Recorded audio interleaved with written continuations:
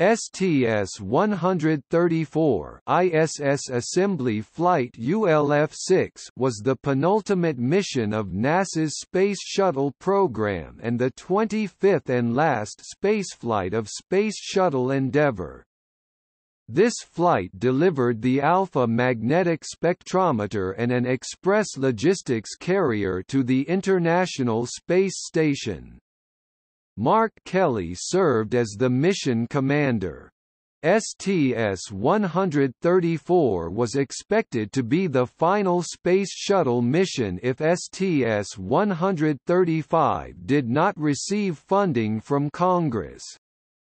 However, in February 2011, NASA stated that STS-135 would fly, regardless of the funding situation, STS-135, flown by Atlantis, took advantage of the processing for STS-335, the launch on need mission that would have been necessary if the STS-134 crew became stranded in orbit changes in the design of the main payload, AMS-02, as well as delays to STS-133, led to delays in the mission.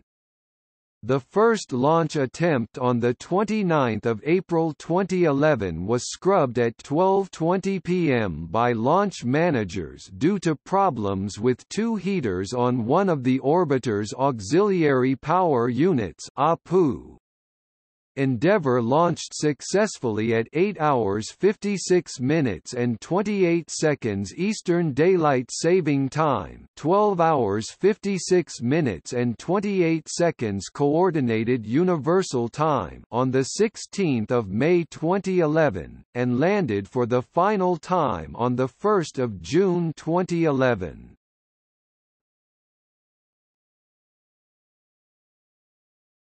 Topic Peru NASA announced the STS-134 crew on 10 August 2009.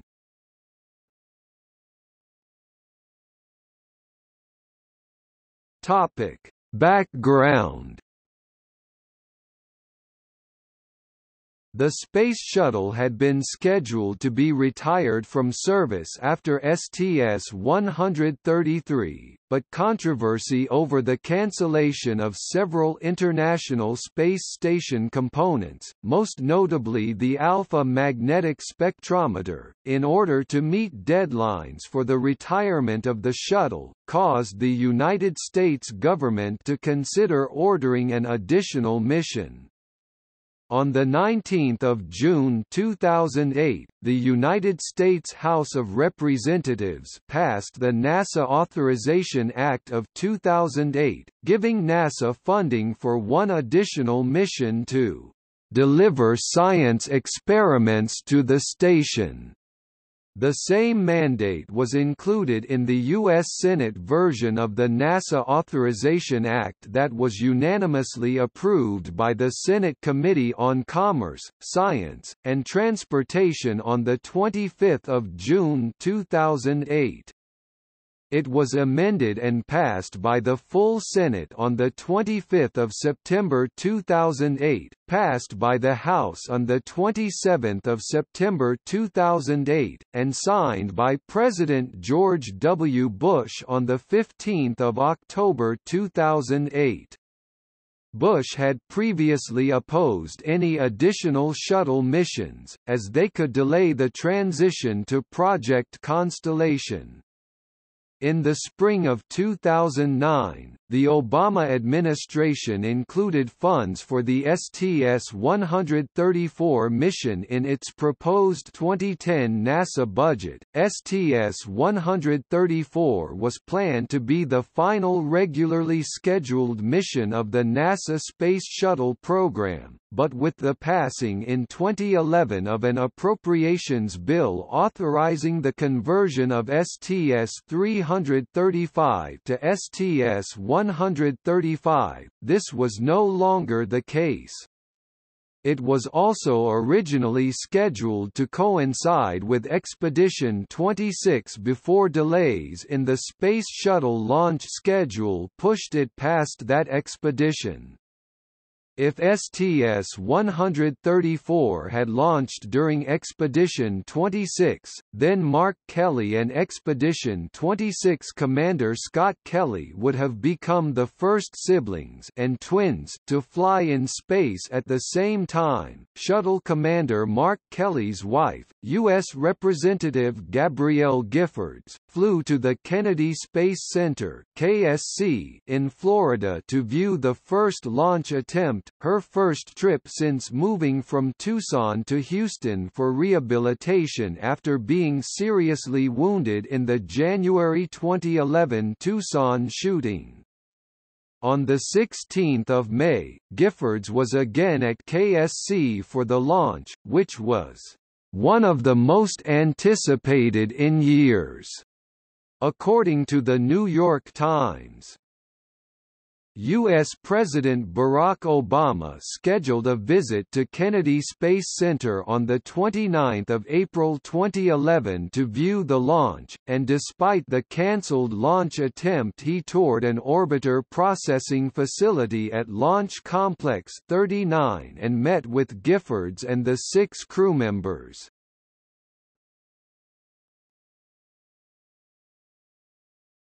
Topic. Mission payload.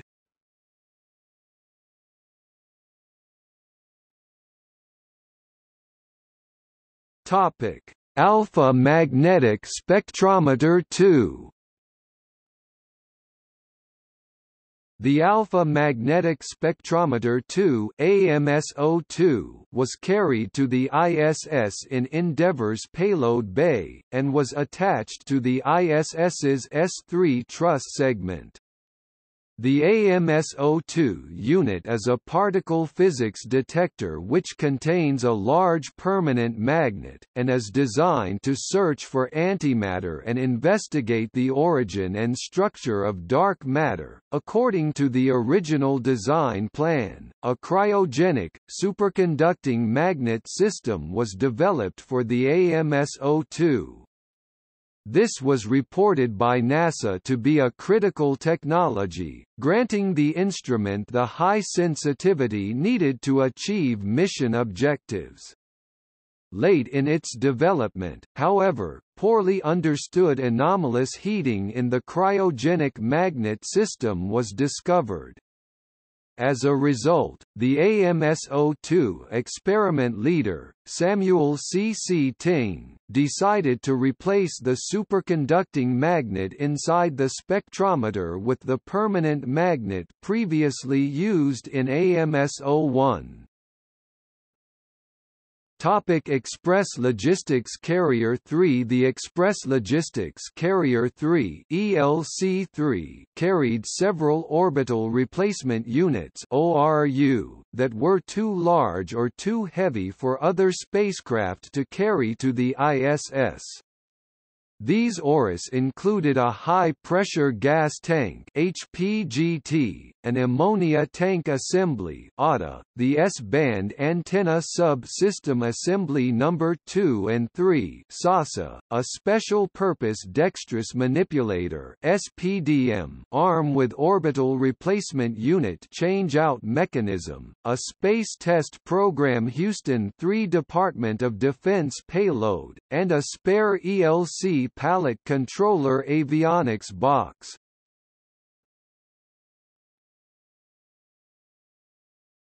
Topic: Materials on International Space Station experiment. The STS-134 mission delivered the materials on International Space Station Experiment 8 experiments, and returned the completed MISS-7 experiments to Earth. MISS-7 had been delivered to the ISS on STS-129 in 2009.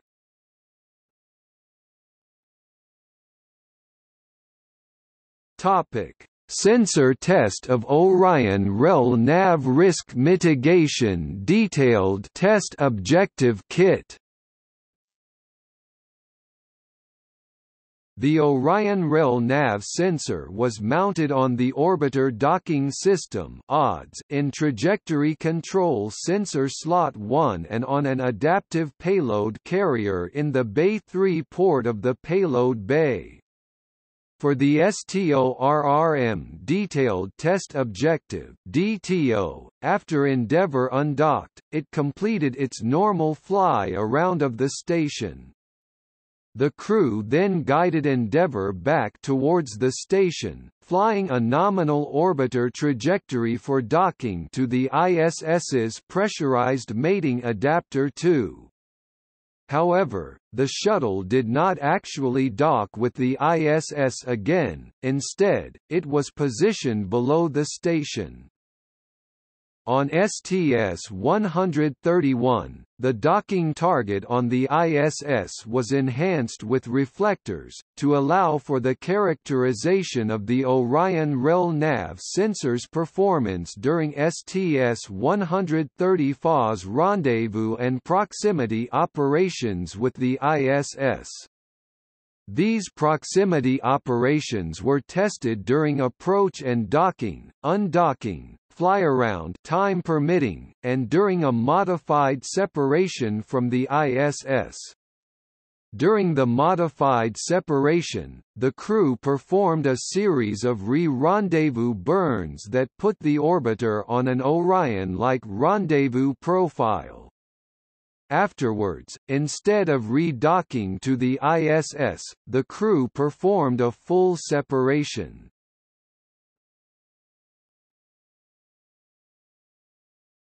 Topic: Glacier freezer module. STS-134 carried a new Glacier module to the ISS and returned two old ones to Earth. The Glacier units were used to store and return science samples on the Space Shuttle.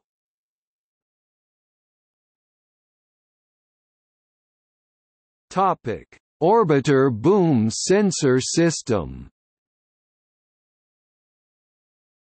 STS-134 left its orbiter boom sensor system OBSS permanently on the ISS for use in reaching places that the Canadarm2 cannot get to on its own the usefulness of having an OBSS available for use at the station was demonstrated during Scott Parazynski's repair of the torn P6 solar panel on STS-120.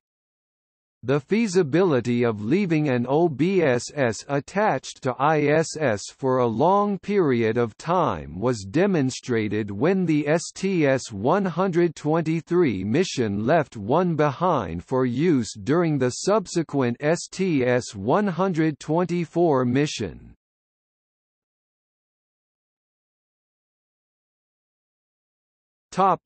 LEGO kits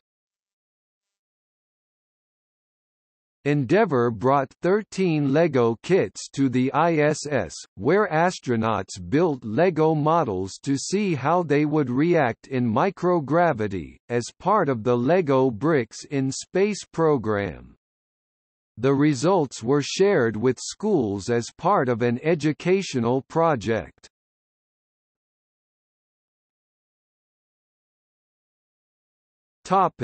Shuttle life The Life Precursor mission was launched aboard Endeavour. This Planetary Society project was to test the mission destined for Phobos Grunt. The stage rehearsal was deemed fully successful.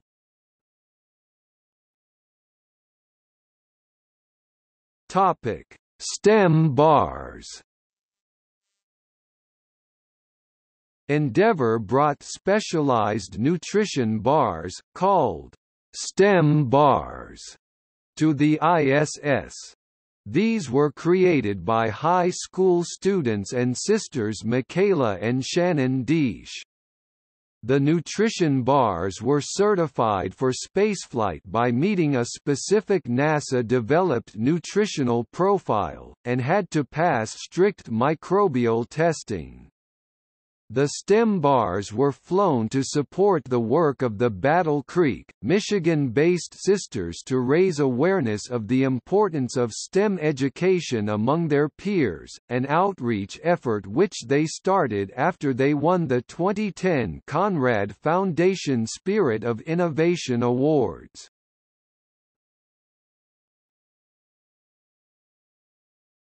The Little Mole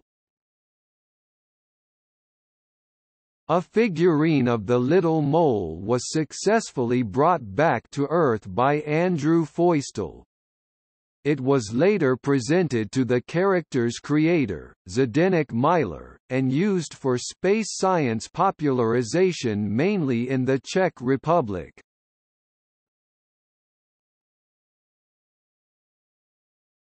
Topic: Mission experiments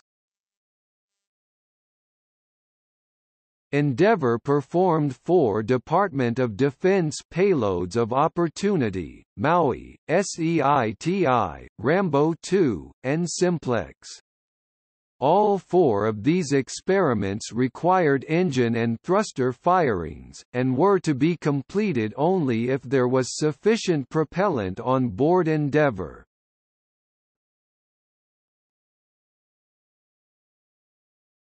Topic Mission milestones.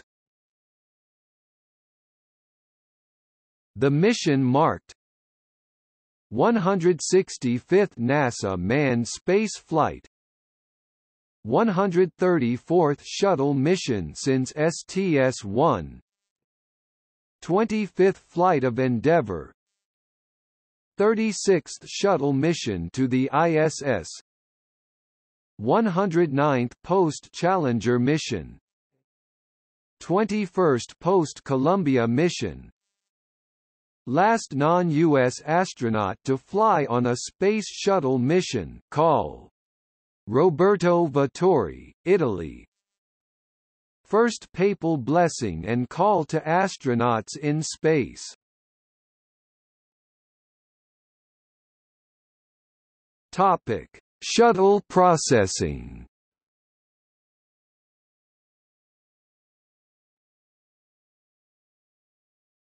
Topic: Rollout Rollout of Endeavour commenced on 10 March 2011 at 1956 Eastern Standard Time and terminated on of March 2011 at 3.49 Eastern Standard Time.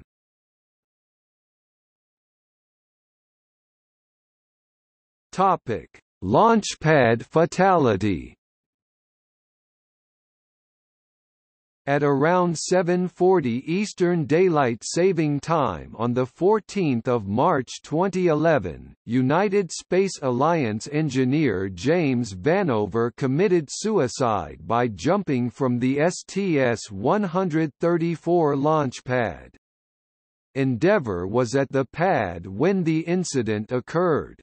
As a result, work on the Space Shuttle was suspended for the day while grief counseling was offered to the workforce. NASA officials believed this to be the first launchpad fatality since 1981.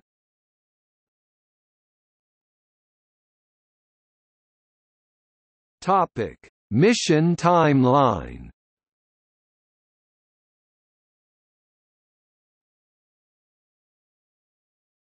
Topic: The 16th of May, flight day 1 launch.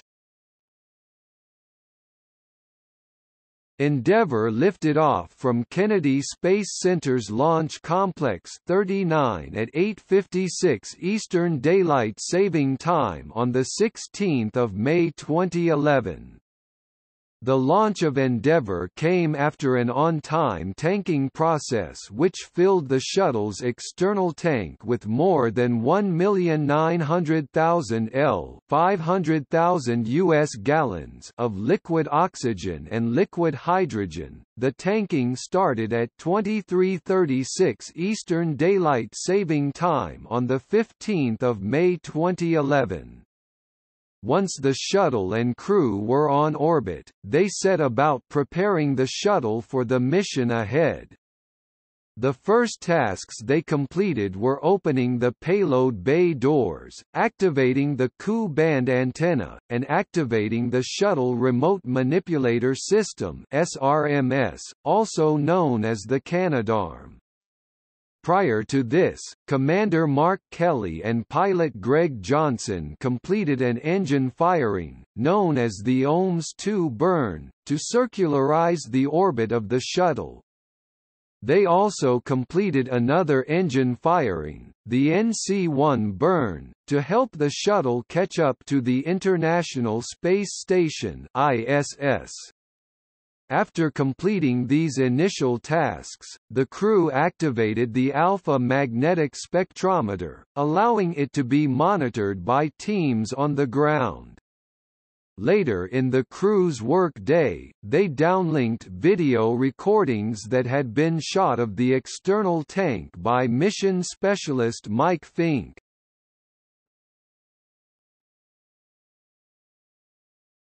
Topic: the 17th of May, flight day 2 OBSS inspection. On flight day 2, the crew of Endeavour completed several tasks in preparation for the docking on flight day 3. The first and most important of these tasks was surveying the shuttle's Thermal Protection System TPS. The Orbiter Boom Sensor System OBSS was used to survey the wing leading edge and nose cone. The Shuttle Remote Manipulator System SRMS, or Canadarm1 was also used to look at the thermal tiles and blankets on and around the Orbital Maneuvering System OMS pods. After the survey was complete, the Express Logistics Carrier ELC-3 was grappled by the SRMS. While the survey was conducted by Greg Johnson and mission specialists Roberto Vittori and Greg Chamitoff, the rest of the crew prepared the orbiter for docking. This included installing tools such as a center-line camera in the orbiter docking system, along with various other sensors used to gauge distance and speed. Kelly and mission specialists Mike Fincke and Drew Feustel furthermore checked out the two spacesuits carried on Endeavour, in preparation for the mission's four planned spacewalks.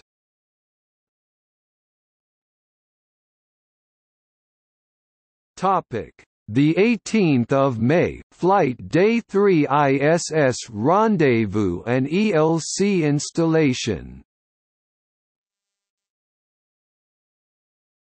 Flight Day 3 saw the docking of Endeavour to the Pressurized Mating Adapter PMA-2 on the ISS.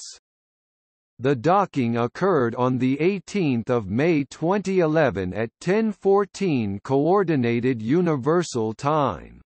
After the shuttle docked, the six astronauts of STS-134 joined the Expedition 27 crew on board the ISS.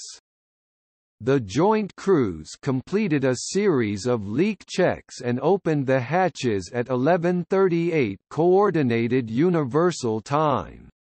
Once the hatches were open, the joint crew held a welcome ceremony and completed a safety briefing.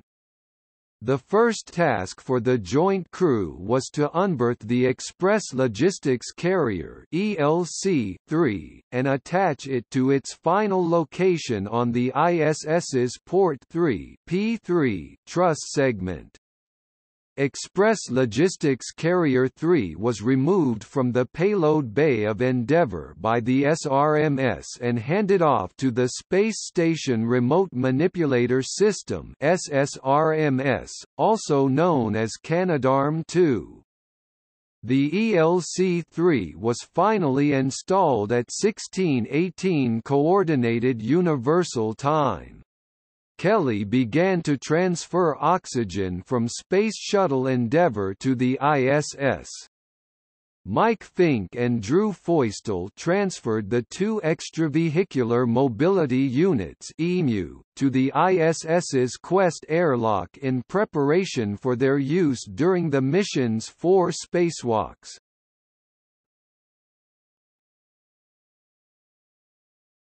Topic: the 19th of May, Flight Day 4 AMS-2 installation. The STS-134 crew installed the AMS-2 on Flight Day 4. AMS-2 was lifted out of Endeavour's payload bay using the Canadarm, operated by Drew Feustel and Roberto Vittori. It was handed off to Canadarm2, which was operated by Greg Chamitoff and Greg Johnson, and was installed in its final location on the S3 truss segment at 9.46 Coordinated Universal Time. Immediately after the installation, crews on the ground began activating the experiment. The installation of the AMS-2 marked the completion of the U.S. orbital segment of the International Space Station. Later in the day, Greg Chamitoff, Drew Feustel and Mike Fincke prepared the extravehicular mobility units EMU that Chamitoff and Feustel would wear during their spacewalk on Flight Day 5. The trio was also assisted by Commander Mark Kelly in preparing the tools required for the extravehicular activity EVA. While this was going on, Expedition 27 crew members Paolo Nespoli, Cady Coleman and Ron Garan assisted the rest of the STS-134 crew in completing transfers to and from Endeavour. Late in the crew day, the two crews performed an EVA procedures review. After the review, Chamitoff and Feustel camped out in the Quest airlock overnight, in preparation for the mission's first spacewalk. The campout was done with the airlock's air pressure reduced, so as to purge nitrogen bubbles from the astronauts' blood and thus prevent decompression sickness. Members of both crews also conducted two in-flight interviews with media on the ground, including PBS NewsHour, National Public Radio, Associated Press, Reuters and Fox News. The crew also answered questions that were relayed up to them by Miles O'Brien for Google.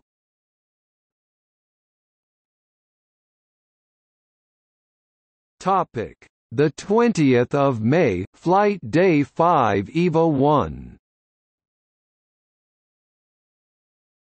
The first spacewalk of the STS-134 mission was completed on flight day 5. Drew Feustel and Greg Chamitoff completed the installation of a new set of MISS experiments, and also started installing a new wireless video system, but were stopped when a CO2 sensor failed in Chamitoff's suit. After the failure, the pair were told to install an ammonia jumper between the port 3 P3 and port 6 P6 truss segments. The spacewalkers furthermore installed a new light on the Crew Equipment Translation Aid card on the starboard 3 S3 truss segment, and a cover on the starboard Solar Alpha Rotary Joint SARJ. The installation of the wireless video system was completed during the third EVA. While the 6-hour and 19-minute-long spacewalk was in progress, members of the STS-134 crew completed more equipment transfers between Endeavour and the ISS. Expedition 27 crew members also prepared for the departure of Dmitry Kondratyev, Paolo Nespoli and Cady Coleman.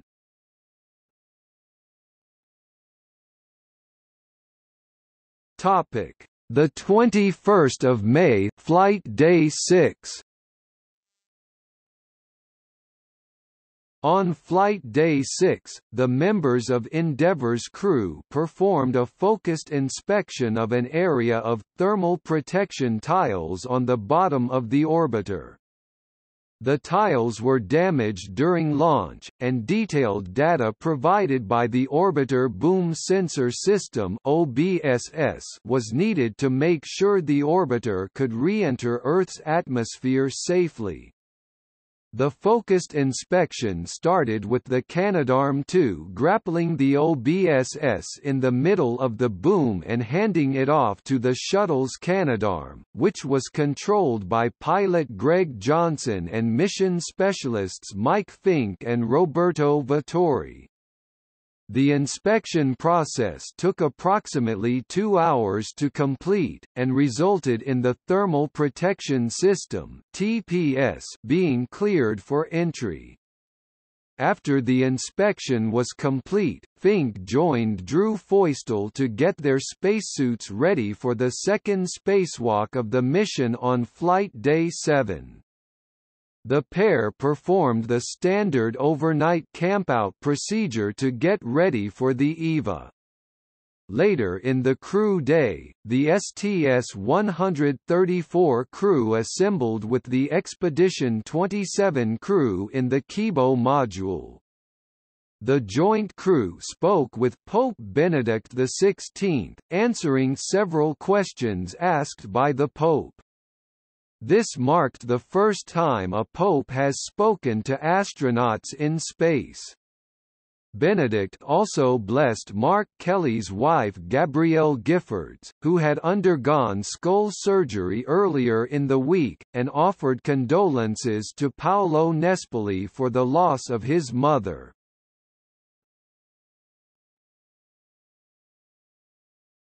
Topic: the 22nd of May, flight day 7 EVA 2. The second EVA of STS-134 was conducted on flight day 7 by Drew Feustel and Mike Fincke. The spacewalk, the sixth longest in the history of spaceflight thus far, lasted 8 hours and 7 minutes, significantly longer than the planned 6 hours and 30 minutes. The excursion also marked the second longest spacewalk conducted from the ISS. During the spacewalk, Fincke and Feustel hooked up a jumper to transfer 2.3 kilograms 5 pounds of ammonia to the Port 6 photovoltaic thermal control system PVTCS, lubricated the solar alpha rotary joint SARJ and one of the hands on Dextre, and installed a stowage beam on the starboard 1 S1 truss. During the lubrication task on the port SARJ, some of the bolts on one of the thermal blankets came free, and one was lost. Commander Mark Kelly documented the spacewalk with still and video cameras, while mission specialist Greg Chamitoff assisted Feustel and Fincke.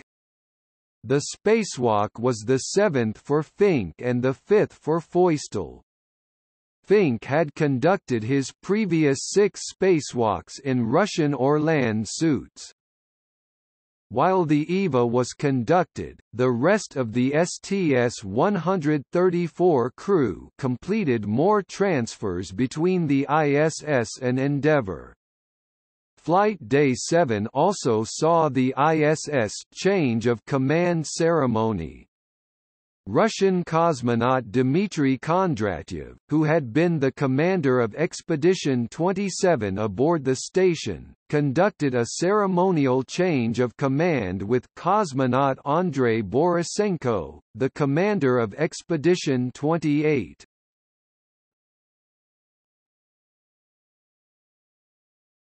Topic: The 23rd of May, flight day 8. On flight day 8, the crew of STS-134 had some off-duty time. Commander Mark Kelly and mission specialist Mike Fincke conducted an in-flight interview with 400 students from Mesa Verde Elementary School in Tucson, Arizona. Later in the crew day, STS-134 mission specialist Roberto Vittori and Expedition 27 flight engineer Paolo Nespoli answered questions from Italian President Giorgio Napolitano. After the STS-134 crew went to bed, the Expedition 27 crew prepared for their departure. Expedition 27 Commander Dmitry Kondratyev and flight engineers Paolo Nespoli and Catherine Coleman left the ISS aboard the Soyuz TMA-20 spacecraft at 21:35 Coordinated Universal Time. The departure of the three Expedition 27 crew members marked the start of Expedition 28, leaving the new expedition commander Andrei Borisenko and flight engineers Alexander Samokutyayev and Ron Garan aboard the station. Before re-entry, Soyuz TMA-20 performed a special fly-about of the ISS, taking numerous photographs of the station and of Endeavour. Soyuz TMA-20 and the Expedition 27 crew landed safely in central Kazakhstan at 2:27 Coordinated Universal Time on the 24th of May 2011.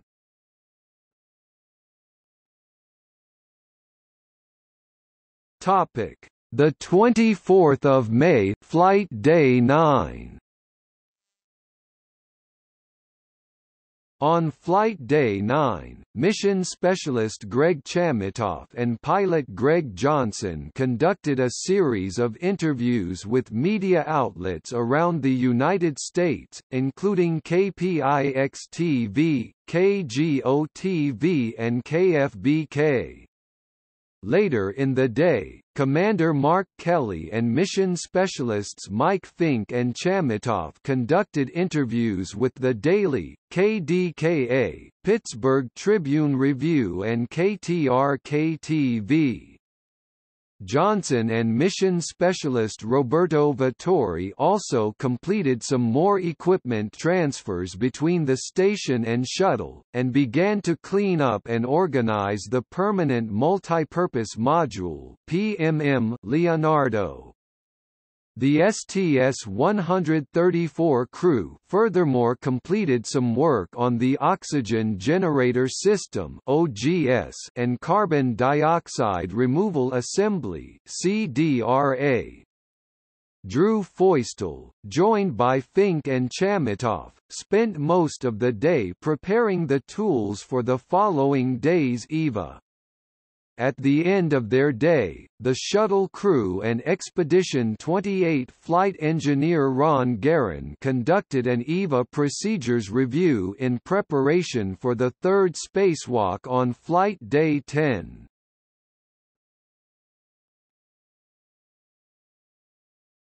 Topic: The 25th of May, Flight Day 10 EVA 3. On Flight Day 10, the third spacewalk of the STS-134 mission was conducted. The spacewalk made use of a new spacewalk pre-breathe protocol, called in-suit light exercise instead of the normal campout pre-breathe protocol.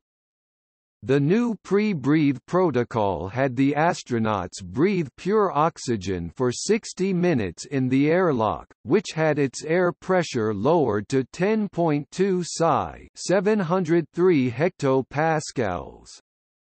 The astronauts then put their spacesuits on, performed light exercise and rested for an additional 50 minutes, breathing pure oxygen all the while. After astronauts Drew Feustel and Mike Fincke exited the Quest airlock, the pair began installing the Power Data Grapple Fixture PDGF. The fixture itself and most of its components were installed, but the data cable associated with it was to be installed later. The spacewalking pair then moved on and routed some new power cables from the Unity module to the Zarya module on the Russian segment of the ISS, providing a redundant power supply to the Russian segment. Feustel and Fincke then moved on to finish up the installation of the wireless video system which Feustel and Greg Chamitoff had begun to install on EVA 1. The pair also took pictures of the Zarya module's thrusters and captured some infrared video of an experiment delivered on board the Express Logistics Carrier ELC-3. Commander Mark Kelly documented the spacewalk from inside the station.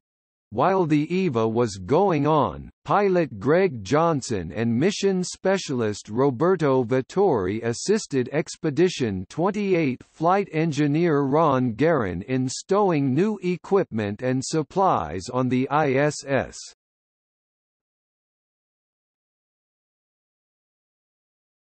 Topic: The 26th of May, flight day 11. On flight day 11, the crew of Space Shuttle Endeavour conducted a late inspection of the orbiter's thermal protection system.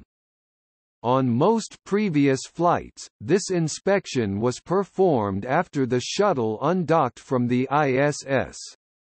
However, in this case it was done early, because the Orbiter Boom Sensor System OBSS was to be left on board the ISS after Endeavour's departure.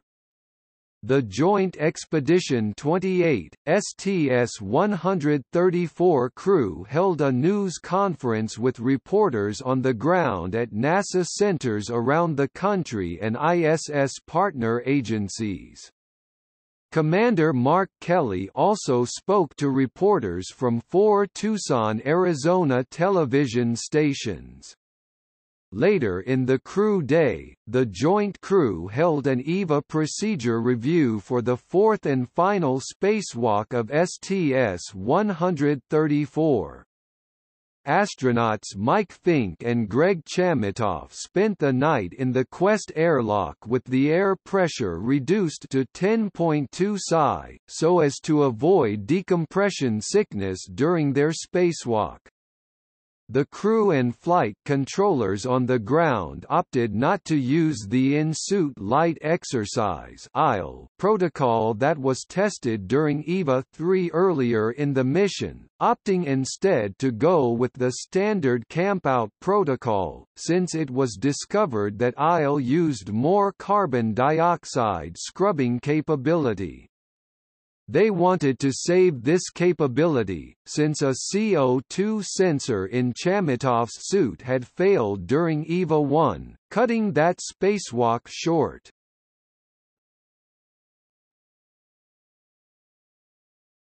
Topic: The 27th of May, flight day 12 EVA 4. The final spacewalk of the STS-134 mission, and the final spacewalk of the Space Shuttle program, was carried out on Flight Day 12. The EVA was conducted by Mike Fincke and Greg Chamitoff, who began the EVA by installing the Orbiter Boom Sensor System on the Starboard 1 S1 truss segment. After the OBSS was installed, Fincke and Chamitoff removed the end effector grapple fixture EFGF and replaced it with a spare power and data grapple fixture PDGF. The station's Canadarm2 could not grapple the EFGF, so the PDGF was installed on the end. After that task was completed, Fincke and Chamitoff moved to the Express Logistics Carrier ELC-3, and released some torque on the bolts that were holding the spare arm for Dextre down against the ELC. The EVA saw the total cumulative time spent performing EVAs in support of the ISS pass the 1,000-hour mark. The three STS-134 spacewalkers spent a total time of 28 hours and 44 minutes outside the ISS on this mission. Commander Mark Kelly assisted with documenting the spacewalk by taking photos and video. In the meantime, the rest of the shuttle crew completed more equipment transfers from Endeavour and the Johannes Kepler ATV to the ISS. Working from the mid-deck of Endeavour, Andrew Feustel, who participated in the first three spacewalks of the mission, was the EVA-4 choreographer. Astronaut Steven Swanson was the spacewalk Capcom from the station flight control room in Houston. During Flight Day 12, Mike Fincke achieved a milestone, becoming the U.S. astronaut with the most time in space, more than 377 days. He surpassed the time in space of astronaut Peggy Whitson.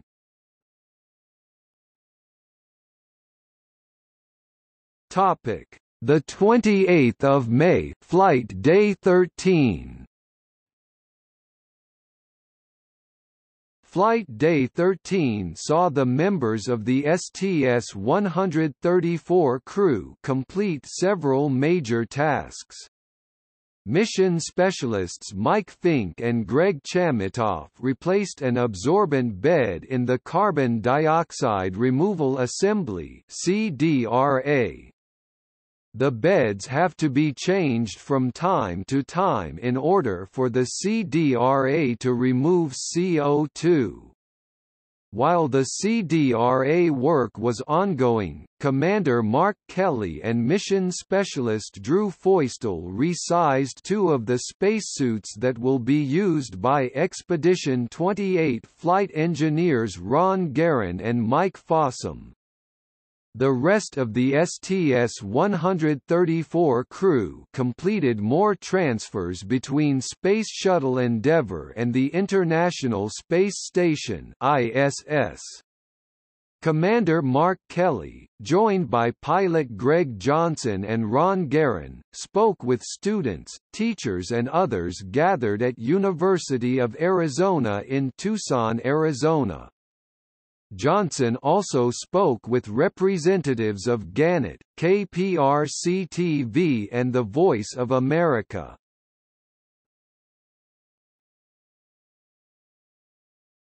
Topic: The 29th of May, flight day 14. Flight Day 14 was the final day for the STS-134 crew to complete activities on board the ISS. Pilot Greg Johnson joined Feustel early in the crew day and spoke with WJRT-TV in Flint, Michigan, WJBK-TV in Detroit, Michigan, WKYC-TV in Cleveland, Ohio and WXMI-TV in Grand Rapids, Michigan. The transfer of supplies and equipment was completed on Flight Day 14, with the transfer of four bags of water from the shuttle to the ISS. mission specialist Mike Fincke completed the work on the carbon dioxide removal assembly that he and Greg Chamitoff had started the day before. Chamitoff was joined by Drew Feustel to finish stowing tools that had been used during the mission's four spacewalks. Space Shuttle Endeavour's small Vernier thrusters were used to raise the ISS by about 960 meters (3,150 feet). The later part of the crew day saw the Expedition 28 crew hold a farewell ceremony for the STS-134 crew. After the two crews said their farewells to one another, they got into procedures to close the hatches on the ISS and Space Shuttle. After the hatches were closed and secured, a series of leak checks were performed on both vehicles, and the pressurized mating adapter 2 PMA-2 was depressurized. The hatch closures marked the end of joint operations which totaled 10 days, 23 hours and 45 minutes.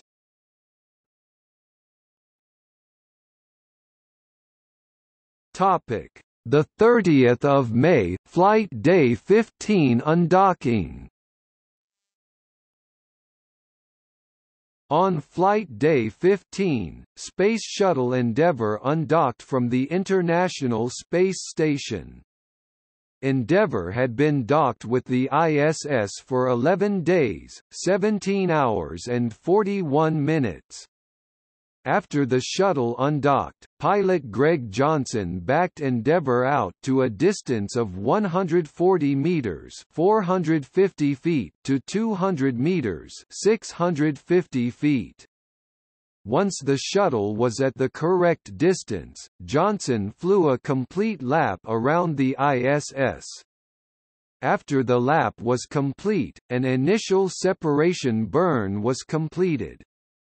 After the burn was complete, Commander Mark Kelly took over control of the shuttle. Kelly first moved the shuttle to a point 6,100 meters 20,000 feet behind and above the station, then to a point below the ISS. Kelly then guided Endeavour to a point 290 meters 950 feet below the ISS. This series of maneuvers was done to test the sensor test for Orion Relative Navigation Risk Mitigation sensors. For the rest of the day, the STS-134 crew conducted preparations for their re-entry and landing.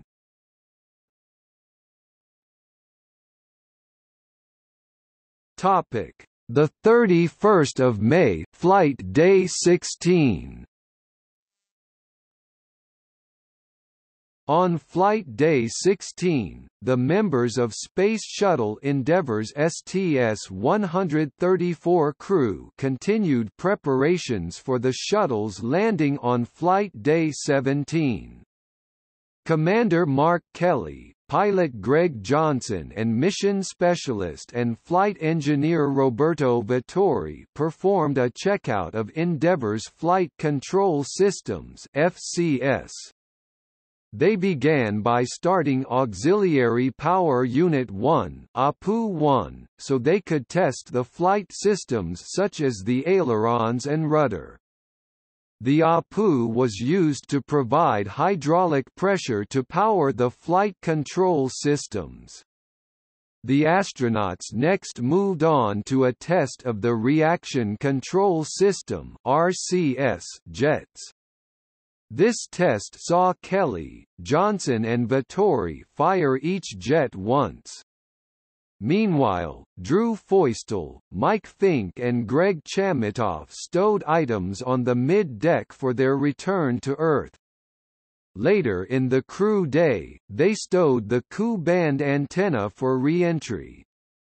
The crew also performed several experiments, including an eye exam and the ram burn observation RAMBO2 experiments, and conducted a deorbit briefing to go over the procedures for the landing. The entire crew furthermore participated in in-flight interviews with ABC News, CBS News, CNN, NBC News and Fox News Radio, and sent a crew tribute to Endeavour down to the ground.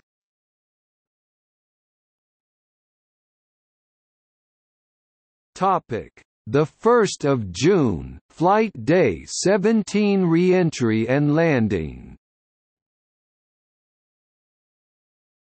The crew was awakened by mission control at 5.57 p.m. Eastern Time to begin Flight Day 17 to the song, "'Sunrise Number 1' by Stormy Mondays. The payload bay doors on the shuttle were closed at 10.48 p.m. Eastern Daylight Saving Time.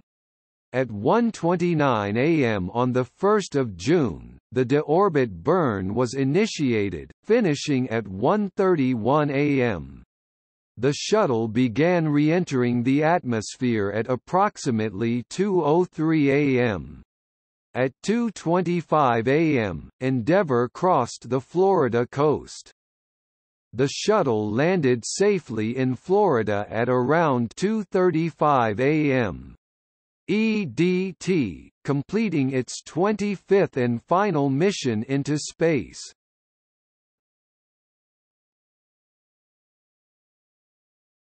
Topic: Spacewalks. There were four spacewalks EVAs completed by three astronauts during the flight. The total time spent outside was 28 hours and 44 minutes. The EVAs are expected to be the final EVAs conducted by a shuttle crew.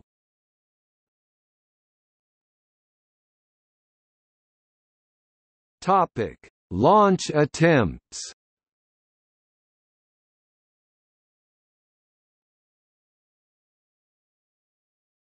Topic: Wake-up calls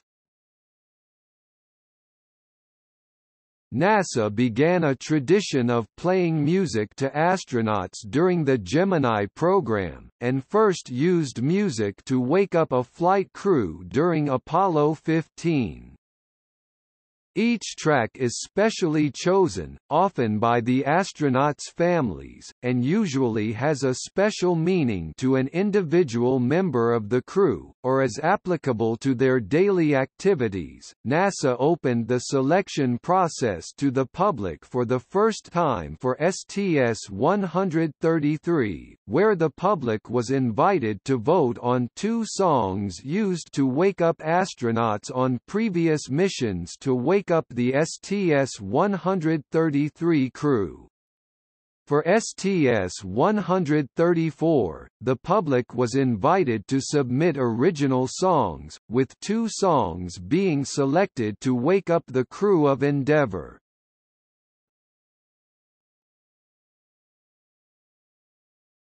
Topic. See also 2011 in spaceflight. List of human spaceflights. List of International Space Station spacewalks.